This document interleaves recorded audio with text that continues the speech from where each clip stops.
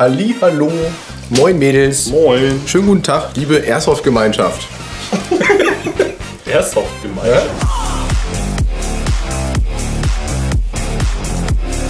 Im Titel stand es auch schon. Ihr seht's, ein Let's My Gear Video. Das letzte ist jetzt wie lange her, Hannes? Drei Jahre. Drei Jahre. Auch da hatte ich schon ein bisschen CQB-Erfahrung, aber halt jetzt halt so nach drei Jahren noch ein bisschen mehr, würde ich behaupten. Hat sich ein bisschen was verändert. Ne? Flo und ich machen das gemeinsam, weil wir beide ein bisschen, ein bisschen äh, ein paar Unterschiede haben. Zum Beispiel, wo fangen wir denn an? Wir fangen bei dem an, was mich jetzt für, für so ein Videodreh am meisten stört. Das ist die Schutzbrille. Die sollte ein jeder tragen, vor allem im CQB. Eigentlich egal wo. Immer im Airsoft. Auch als Orga.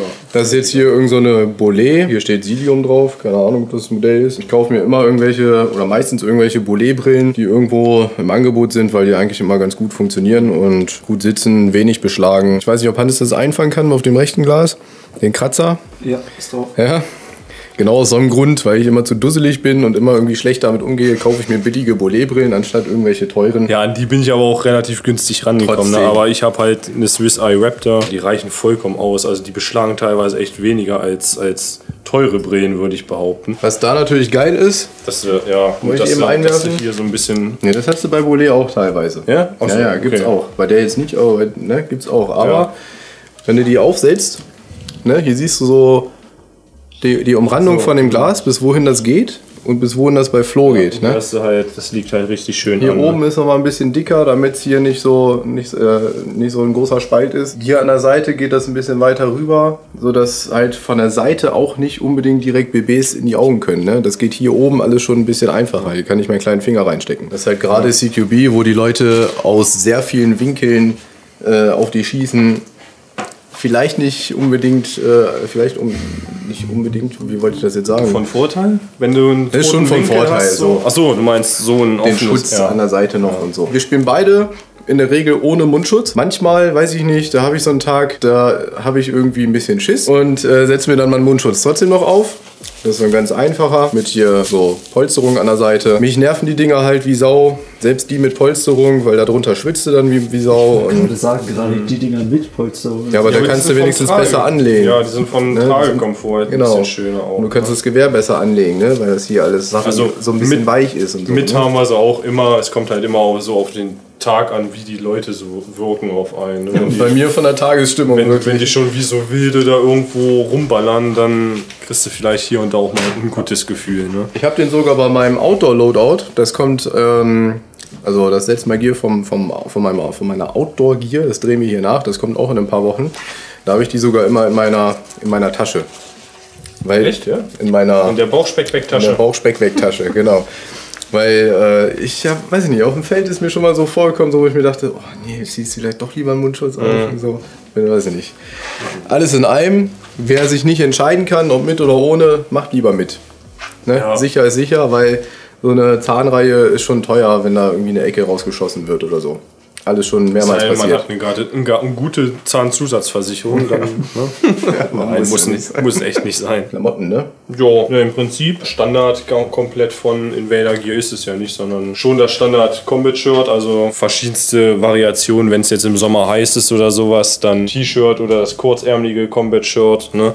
Ähm, ansonsten Multicam Black finde ich sieht optisch halt einfach ziemlich cool aus und hat auch tatsächlich eine ziemlich gute ähm, Tarnwirkung bei uns auf dem Spielfeld, wo viel Lichtschatten ist. Ja, ansonsten die, ich sag mal, bisschen bessere Hose, aber jetzt kommt ist Die auch die Predator. die Predator, genau. Das ist Ähm, aber schon die, die, äh, die erste Variante noch. Genau, das ist die erste Variante. Die neue hat ja hier so dieses geriffelte Gummistoffkramsen, ne? aber mal ein bisschen cooler aus. Tragekomfort, also der erhöhte, verstärkte Bund hier, ne? wenn man jetzt mal irgendwie einen Gürtel tragen will. Schuhe hast du jetzt gerade keine. Schuhe Ne? habe ich jetzt gerade keine, muss ich mir erst neue kaufen. Aber ich äh, bin da so ein bisschen im Zwiespalt, ob ich mir jetzt Lova oder Hikes hole. Ja, aber eins von den beiden ist schon. Eins ne? von beiden, weil beide sch- sollen schon ziemlich gut sein. Und gerade mir beim. Airsoft, wenn es jetzt wieder öfter auf Outdoor-Felder geht oder so, nächstes Jahr, was wir geplant haben, ist gutes Schuhwerk schon echt wichtig. Wer noch andere Schuhempfehlungen hat, Ja, klar, mal in die Kommentare. aber mit, ähm, mit Begründung, warum.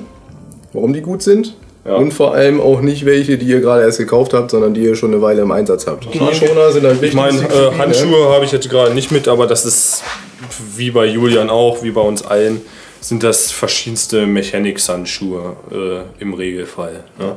Meistens. Ob ihr es glaubt oder nicht, ich habe immer noch von meinem ersten Let's My Gear Video mein, was haben, wie haben wir es damals genannt? Urban Distress Urban Motherfucker Look, ja. Look. Ja? ja. Also immer noch die, äh, das erste Combat-Shirt, was ich mir jemals gekauft habe. Der gemoddeten Hose, ne? Meine, meine erste Hose, die ich mir gekauft habe, ist die Ranger. Ne? ist jetzt genau die Ranger mit, mit den Beinplatten von der damals Bugatti Basic Ja, Kollektion. sie, solche Ja. Beinplatten sind Genau. da drin, so in der Art.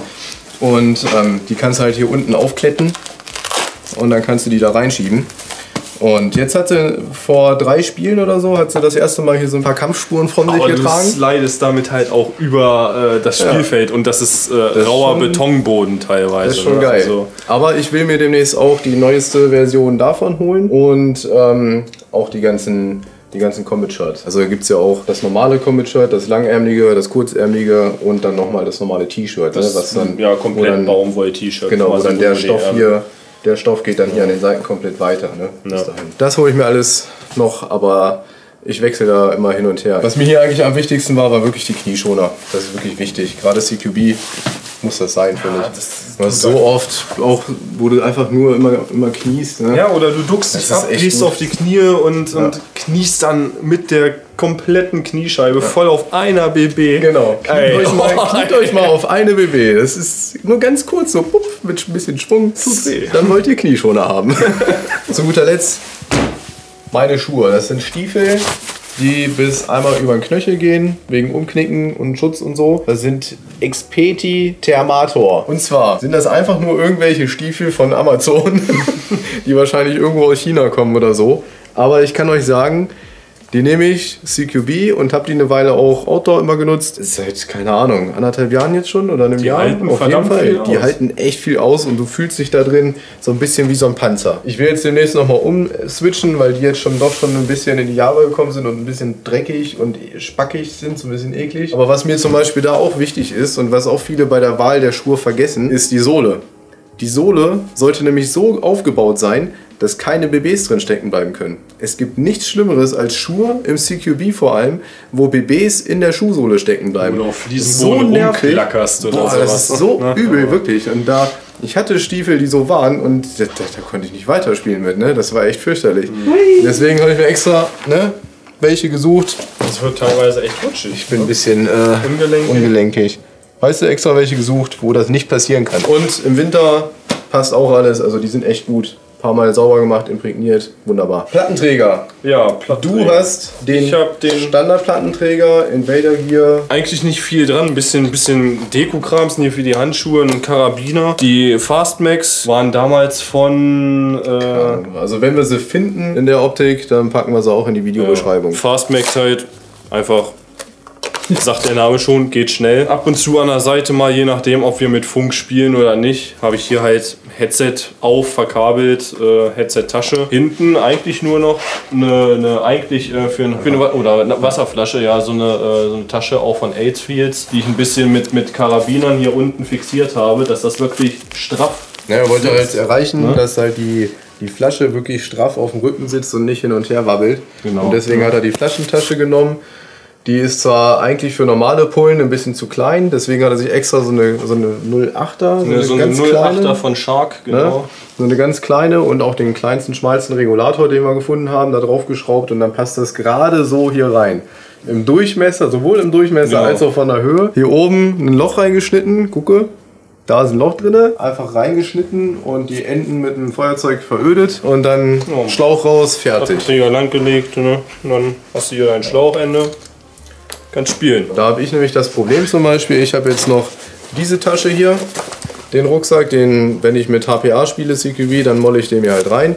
Und ihr seht schon, da habe ich mir schon mal so testweise mal so ein bisschen Pappe reingestopft und so, um zu gucken, dass ich die Flasche da möglichst spielfrei da drin habe, damit das nicht so hin und her wabbelt. Aber was soll ich sagen? Der ist halt um einiges größer. Wenn du gebückt läufst, hinter einer Deckung, wirst du schneller gesehen. Das Ding wabbelt, wenn du sprintest, nervig. Also eine akkurate Flaschentasche für so eine 300 Bar Composite-Flasche fehlt mir auf jeden Fall noch sehr. Das ist eine absolute Notlösung. Je nachdem, wie es Feld gerade ist, also entweder wenn Backup-Pflicht ist, hast du hier, wie Julian auch hat, Hartscheinholster am Bund einfach dran. Oder wenn jetzt doch mal mehrere gegnerische Spiele auch Granaten haben oder sowas, äh, habe ich halt hier einmal nochmal eine separate Beinplatte, die ich mir dann da dran hefte. Dann kann ich hier meine Granaten rausziehen. Zwei Stück, das reicht in der Regel. Ne? Dann kannst du so auch äh, verfahrene Situationen im CQB-Bereich klären. Ne? Hier oben die Gummis links und rechts, die sind nicht einfach so da. Ne? Die sind dazu da, um den Riemen, der hier lang geht, ein bisschen mehr auf dem Polster zu fixieren. Weil wir hatten das Problem bei dem Plattenträger, dass dann dieser Riemen hier gerne auf dem Polster hin und her rutscht und dann das Polster teilweise zur Seite rutscht und dann drückt es da ein bisschen. Mir war jetzt zum Beispiel genauso wie hier wichtig, dass hier diese Schnellverschlüsse sind. Zum einen sieht es cool aus und zum anderen ist es auch echt angenehm an- und auszuziehen.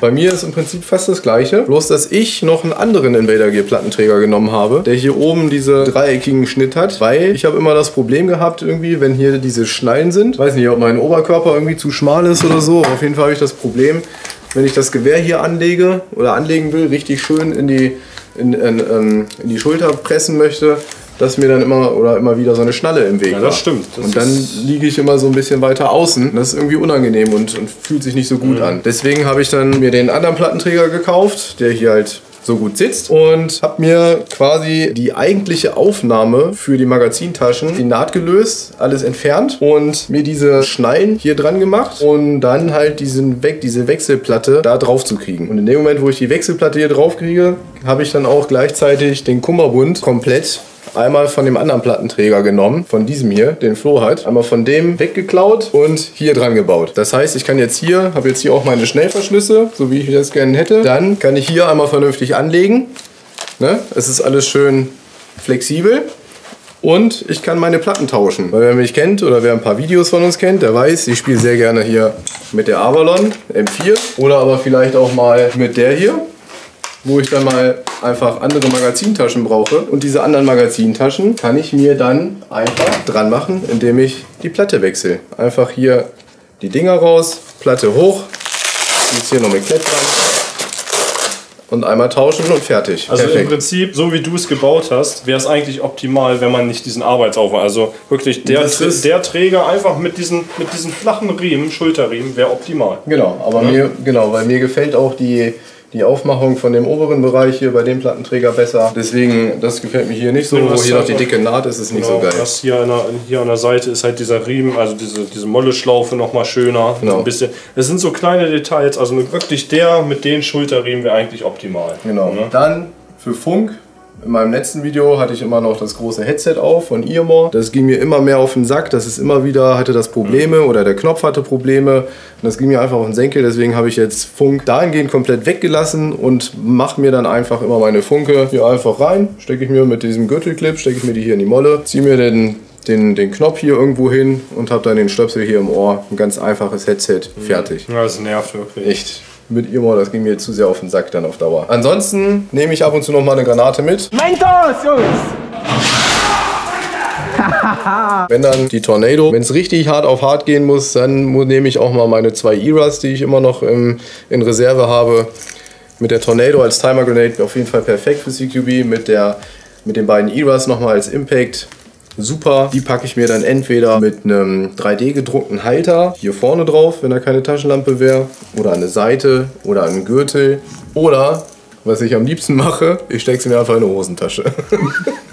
Weil diese 3D gedruckten Clips halten nicht unbedingt immer, weil die Granate echt schwer ist. Deswegen einfach in eine Hosentasche stecken. Dafür hat man auch große Taschen. Hier ist doch scheißegal. Funktioniert super. Wenn du in einer Granatensituation bist, dann kannst du die auch schnell genug ziehen. Passt. Dann spiele ich aber auch gelegentlich nochmal mit Pistole. Kommst du noch klar, Hannes? Gleich fertig. So, mit Pistole mache ich es mir ganz einfach. Da habe ich hier die Universal-Hartschallenholster für, für einen Gürtel geholt.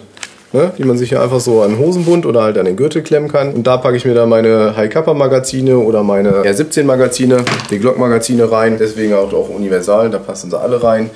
Und ähm, Ja, manchmal nutze ich das hier noch mit, aber eigentlich, wenn ich Pistol Only spiele, brauchst du ja eigentlich kein Holster. Eigentlich nutzen wir es wirklich nur dann, wenn explizit auf einem Feld Backup-Pflicht ist. Genau. Ansonsten, das habe ich noch vergessen. Warte. ansonsten spielen wir eigentlich immer so, dass wir äh, ja, entweder uns zurückziehen, dass wir auf die Distanz kommen, wenn irgendwie ein Sicherheitsabstand gefordert ist auf dem Feld. Hier ging es jetzt um Pistol Only. Bei Pistol Only spiele ich ja mit der High Kappa zum Beispiel, mit HPA.